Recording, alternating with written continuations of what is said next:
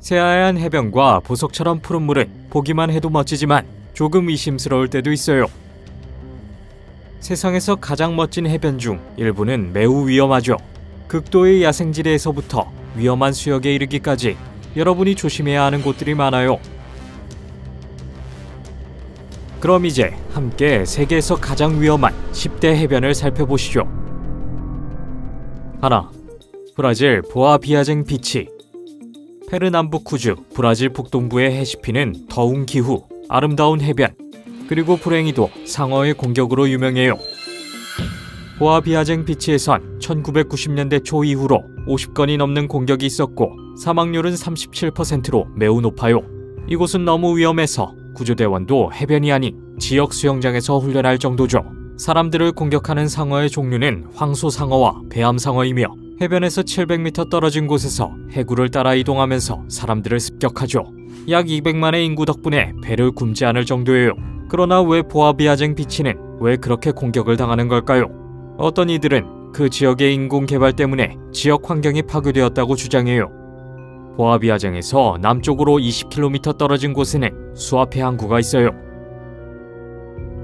항구는 강 어귀를 차지해서 황소상어의 서식지를 파괴해줘. 한편 항구로 들어오는 선박들은 먹이를 찾아 배를 쫓는 경향이 있는 배암상어들을 끌고 왔을 수도 있고요. 둘, 미국 킬라우에아. 하와이의 킬라우에아 해변은 평범한 해변처럼 보이진 않는데요. 우선 모래가 검은색이에요. 같은 이름의 화라산이 주변에 위치하며 주기적으로 용융용암을 물에 뿌려주기 때문인데요. 칼리우에아는 지구상에서 가장 활동적인 화산 중 하나이기 때문에 몸을 담그는 것은 자살 행위나 다름없어요. 분화는 1983년에 시작되어 35년 이상 지속되었는데요. 2018년에는 엄청난 폭발로 인해 이미 위험지로 인식되었으며 수개월간 지구를 진동시켰어요.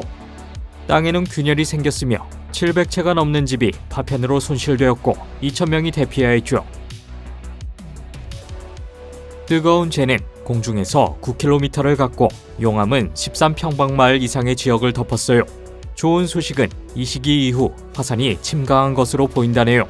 그렇다고 이 해변이 위험에서 벗어난 건 아니에요.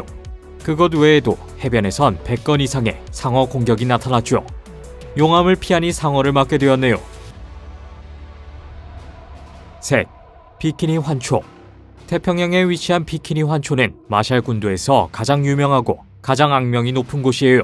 이곳은 1946년에서 58년 사이 미국의 핵실험장으로 사용되었고 강력한 브라보 수소 폭탄 등을 포함했죠.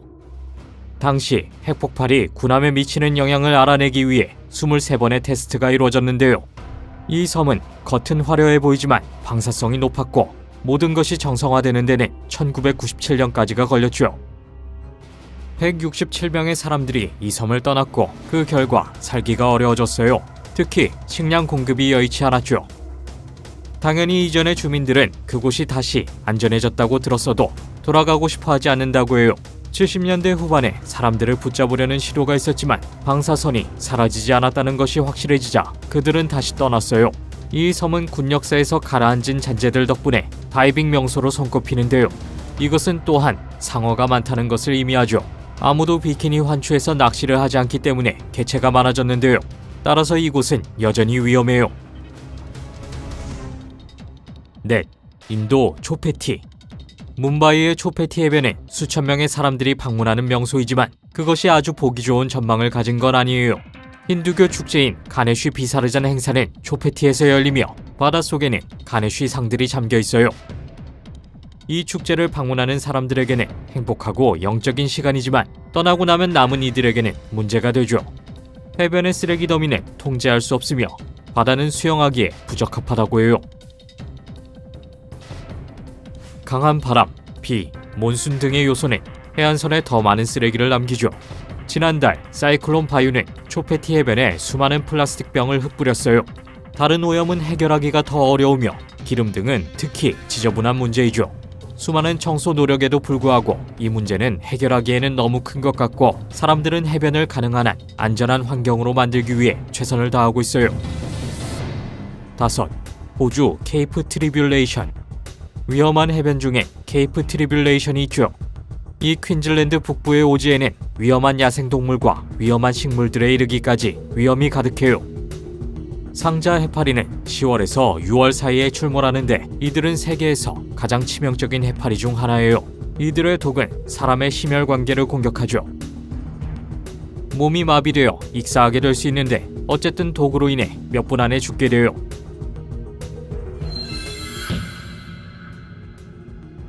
인도 악어도 이곳에 출몰하며 똑같이 빠르면서도 끔찍한 죽음을 안겨줄 수 있죠. 밤에는 잡이 없는 멧돼지들이 즐비하며 뱀은 말할 것도 없어요. 올해엔 도로를 지나가는 비단뱀 사진이 찍혔고 이 뱀은 독특하게 움직이며 최대 시속 29km의 빠른 속도로 움직인다고 해요. 아름답지만 불쾌하고 따끔거리는 나무에서 멀리 떨어지세요. 이들은 작은 가시 수천 개를 피부에 몇 달 동안 박을 수 있어요. 악명 높은 덤불들은 너무 뾰족하여 옷에 박힐 수 있으며 가급적 만지지 않는 게 좋아요. 여섯, 멕시코 플라야 시폴리테 태평양 연안의 오악사카주에 있는 플라야 시폴리테는 그림 같은 곳으로 관광 명소인데요. 그런데 이곳은 죽음의 해변이라고 불려요. 왜일까요?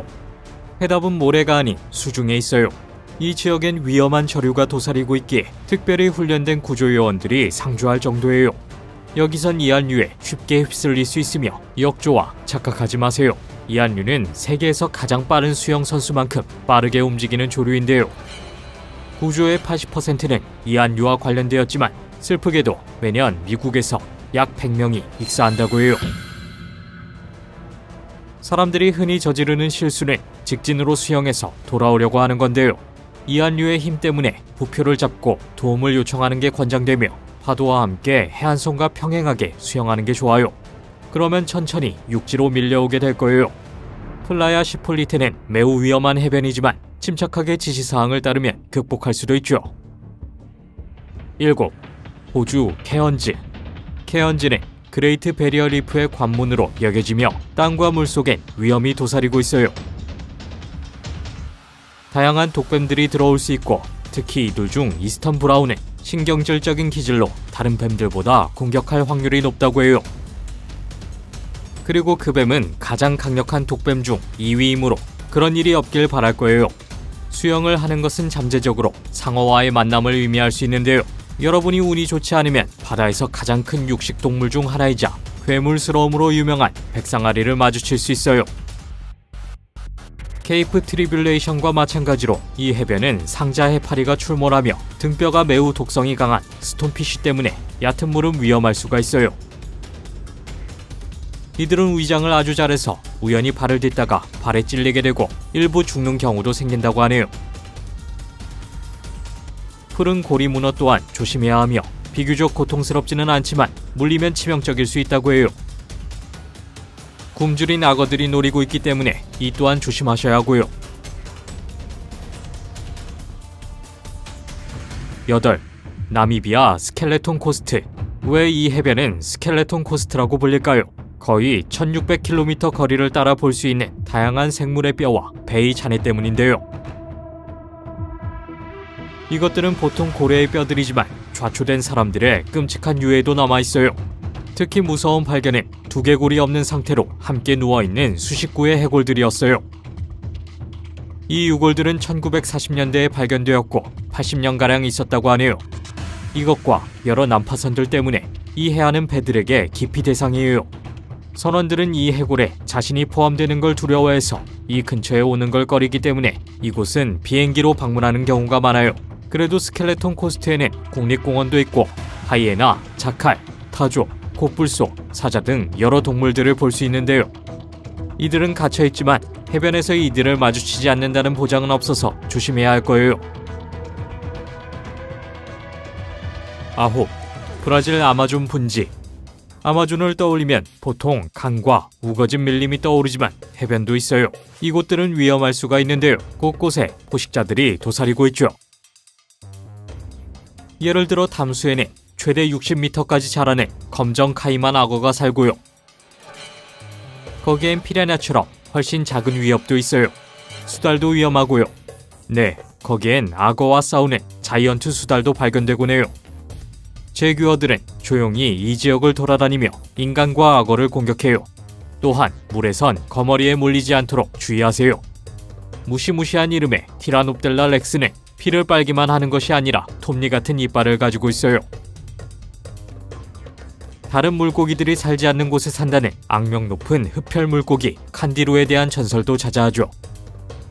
아마존의 도사리는 3.6m 길이 부시마스터 살모사는 송곳니로 문 것의 80%를 사망시키는 것으로 유명해요. 또한 말라리아나 황열병 등을 옮기는 모기가 날아다녀서 하늘 또한 안심할 수 없어요. 열 호주 프레이저 섬 지구상에서 가장 위험한 해변은 퀸즐랜드 남동부의 프레이저 섬이라고 해요. 백상어가 코 거북복 무리 중 일부인 이룩한지 등의 해파리와 함께 바다에 도사리고 있어요. 이들을 조심하는 것 외에도 강력한 역조 또한 익사의 위험이 있으니 조심하셔야 해요. 인명구조원을 부를 수도 없어요. 이곳에는 없거든요. 또한 위험한 건 물속만이 아니에요. 딩구와 야생개들의 먹잇감이 될 수 있기 때문이에요. 딩구에 물린 후 의사의 진료를 받는 것도 어려워요. 이 섬에는 의사를 만날 수 있는 곳이 없거든요. 모래조차도 심각한 문제를 야기하는데 모래 언덕에서 차량이 굴러가고 사람들이 호수로 다이빙할 때 머리를 부딪히는 거죠. 프레이저 섬은 아름답게 보이는 곳이지만 방문한다면 꼭 주의하셔야 할 거예요. 모든 곳에 위험이 도사리니까요. 영상을 재밌게 보셨길 바래요. 이곳들 중 가보고 싶은 곳이 있으신가요? 댓글로 알려주세요. 영상이 마음에 드셨다면 구독과 알림 버튼을 부탁드려요. 시청해주셔서 감사하고 다음에 또 만나요.